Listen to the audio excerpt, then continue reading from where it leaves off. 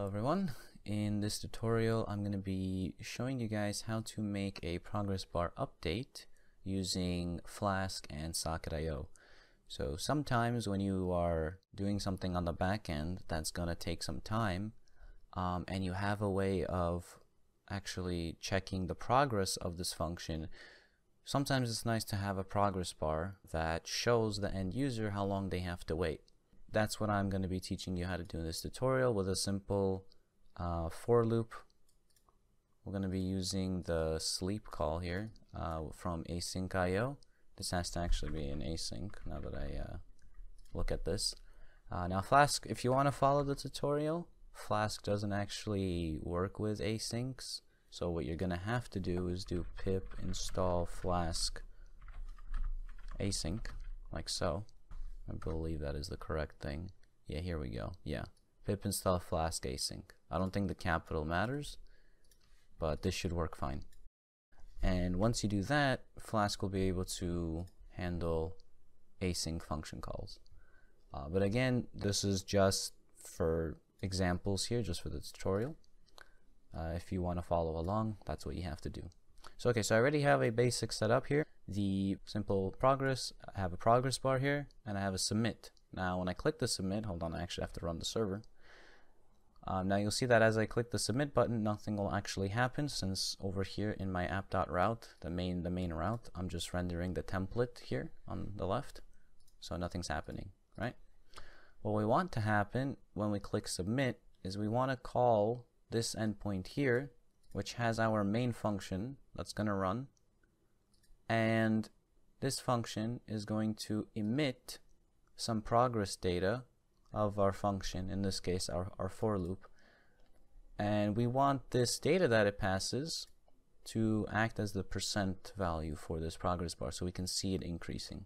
So this is a little foreshadowing, but uh, here I'll get rid of this for the time being actually. So okay, I'm assuming you already have Socket.io already done and um, ready, I should say. Like there, if you don't, there are other tutorials out there that show how to set up Flask Socket.io. So please go look at those. Uh, we're gonna. This tutorial is just gonna focus on actually doing a progress bar. Again, you can follow along with the code that I have. If you're not sure, um, it'll just be in the description. So okay, so what we want to do is we have our main form. I gave it an ID main form. This is uh, just so we can access it later in a script here. Here's our progress bar, here's our button. Make sure that your button is of type submit so that something can actually happen when you click it. What we want to do here is we want to set up a uh, Socket.io instance. And so here I have the CDN for Bootstrap, which is the library I'm using for this nice looking CSS, and I'm using the CDN for Socket.io. So once you have this in, uh, copied in, make sure it's in the head. I'll put it in the description for you to copy paste. We can go ahead, make a script of type text JavaScript and do something like const socket is equal to IO. And this will make a socket. Now, if we want to actually connect to our site, we'll do socket.connect. And in here, I'll do localhost or HTTP, hold on, HTTP localhost. And then on the port that I am, which is 25565, yours could be different. Now that we have this set up, uh, whenever the whenever this actually gets called and we successfully connect to the site, the socket dot on connect event will get called, and we want it to run a function. And in this case, we could just do something like console.log um, connected.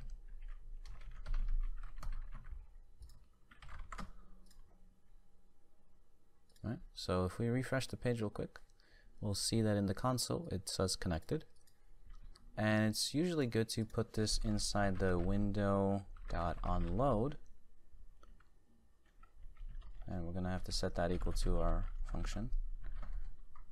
If we just put this here in the window.onload, this will make sure that this gets called once the window actually loads. So again, let's refresh. We can see that it says connected. This is some Socket.io messaging that we can ignore for the time being. So it says connected. So now we want to make sure well, first, we need two things. We need one way of receiving data from the backend, which is the percent of our function completion, and we need a way to actually, once we hit submit, to call this endpoint. And we use this using the JavaScript um, JavaScript's fetch function. So let's quickly here make a socket dot on, and in here it'll be called, let's say, um, update progress. Okay and it's ha gonna have to take in a function which takes in a percent right we're gonna use this percent to update our value of our progress bar and we'll just say for now something do something with percent in the meantime what we can do is console.log that we got percent percent okay now I know nothing will happen right? We need to actually call progress here. And within progress, we need to make sure that our socket.io will emit to update progress and pass in the relevant percent variable. Let's actually do that here. I did delete it earlier, but that's fine. So how we do that is we do socket IO or whatever your socket connection here is called, whatever your variable here is called. In my case, it's socket IO. We want to emit to update progress okay and what we want to pass in is in this case x and I'm going to multiply this by 20 since I'm only doing this five times I'll do x times 20 so it'll be 20% 40% 60 80 and 100% and then we'll sleep for two seconds just to show just so that the progress bar doesn't immediately go to 100 right we want to just sleep for two seconds to show it okay and then we'll return a response of nothing basically all right.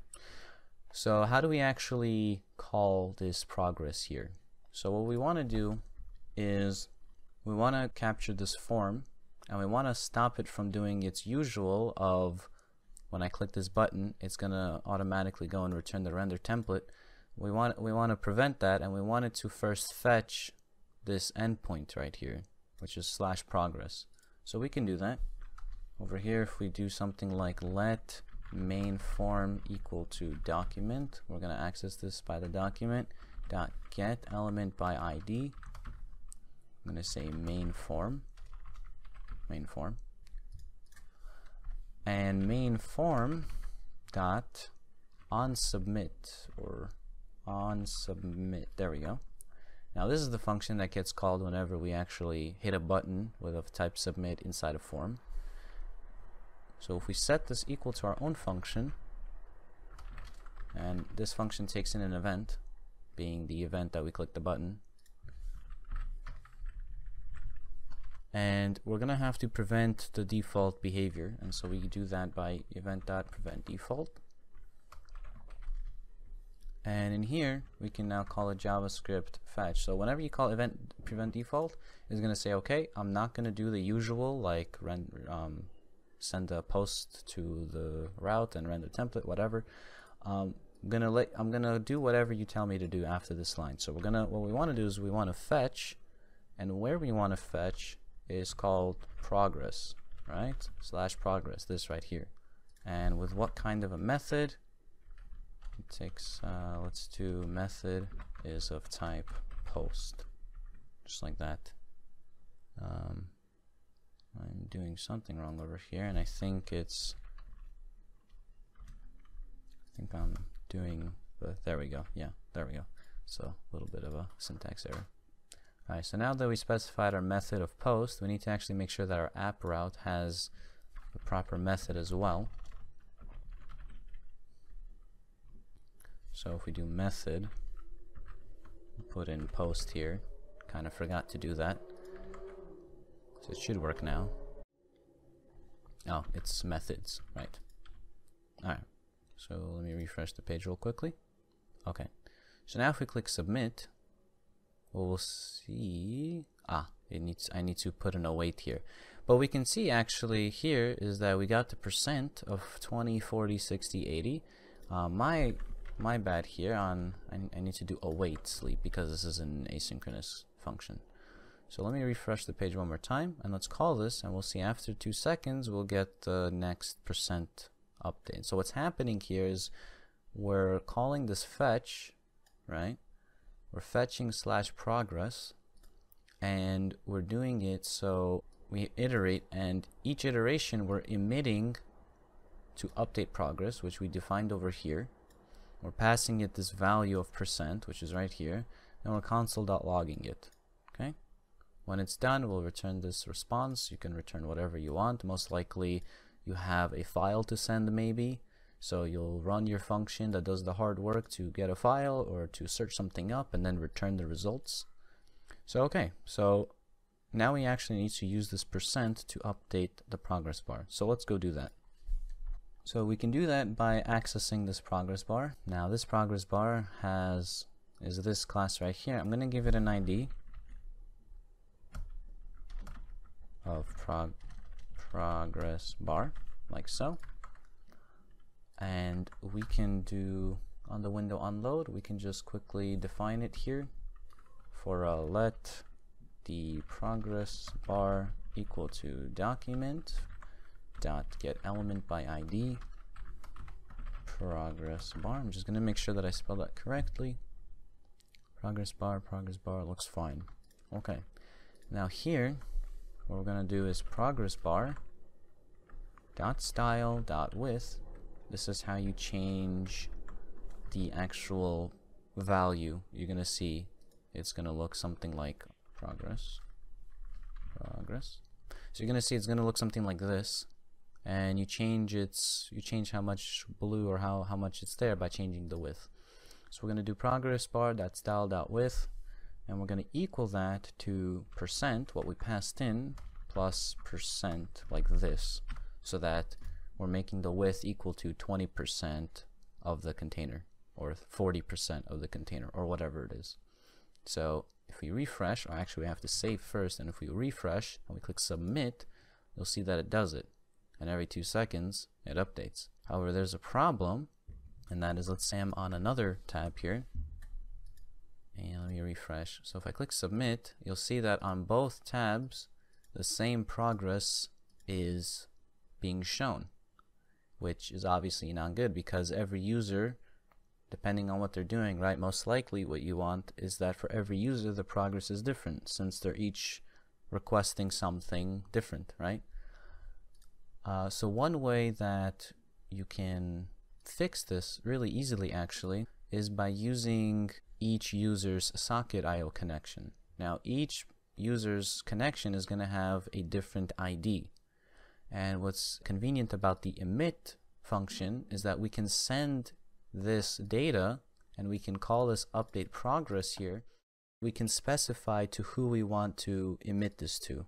In this case we just wanted to emit this to the user who called it. So how can we do that? So the first thing is we need to actually do a let let's say socket ID we'll keep it undefined for now. Whenever we connect whenever this gets called we want to set socket ID equal to socket.id Okay? now, how do we pass this socket ID in a way where we'll know who's calling what, right? So we know that we're calling this endpoint progress. So what Flask allows us to do is actually to pass in variable information into the route. So what we could do here is do slash progress slash socket ID and now our progress will have to take in a variable called socket ID so that it can reference it in the URL. And now all we have to do is when we're fetching, we just have to do slash progress slash socket ID, the socket ID that we hopefully should have gotten. So we could actually just check this real quick by doing a console.log to make sure that we're getting the, we're setting the socket ID. We'll say socket, or let's just do ID is uh, socket ID, like that. Okay. So if we refresh the page, we should see connected, and here's our ID. It's uh, MCWUR whatever whatever. And if we go here and refresh and hit F12, we'll see this ID is P, what is this, L1VY, etc. Okay? So now what's going to happen is, or now what we need to do actually, is use this socket ID to emit to a specific room. Now each user or each tab has its own room, its own unique room. We access this room by its socket ID. So what we could do here is use the to parameter and we'll pass in the socket ID here. Now if we look at the emit function and look at this parameter, where is it? Parameter 2. Send a message to all the users in the given room, right? And so if we pass in the socket ID, which is unique to every tab, we'll make sure that we send it to just that one user. So if we refresh, we see we got this ID. If I click submit, it works. But if I come here, we can see it doesn't work. And I can do this here as well, submit, and they have their separate progresses. So what you probably want to do is make sure that your progress bar doesn't stay at 100%. Like if you see here, it's going to go to 80, then 100, and we don't actually tell it to reset. So one thing that you can do, this is just a little extra I'm going to do for the tutorial, is a dot then. It's going to take in a response from the fetch, but we don't necessarily have to use it and we're gonna do our little our, our, own little function here using response even though we're not using it. Uh, we're gonna set a timeout which just basically means that you can call a function after a certain time. Uh, and what we want to do is we want to get the progress bar's width and set it equal to make sure it's I, th I, think it yeah make sure it's zero percent and then in here you're gonna have to specify let's say like a second. Now notice notice how we get 20 40 60 80 100 and then after that we're gonna return something here. And you can see that it says fetch failed loading post. And here's the here's our main link slash progress slash i8wq whatever and if we look, that's exactly what our ID is, i8wq. So this is how you can tell that your function is working uh, or how this fetch is working proper, uh, properly. Now, I, did I mess something up? It doesn't seem like it's going back to zero. Um, maybe did I not refresh the page when I did that? Maybe I had to refresh the page actually. That that might be the issue. Also, let me just put the put the semicolons there now, although I don't think it matters. Now should, there we go. So after second, it goes back down to zero. And there you go. Now if I click submit here, or if I click submit here, they both work independently of each other. Nothing matters. Uh, nothing like, uh, they don't affect each other, I mean. Their percentages don't matter to each other. And there we go, works like that. So make sure that you're using the to parameter. Okay, so that was the tutorial. I hope you found it useful. Uh, and if you did, make sure to leave a like and let me know what you want to see next. Maybe something Flask related. Alright, thank you for watching. Bye bye.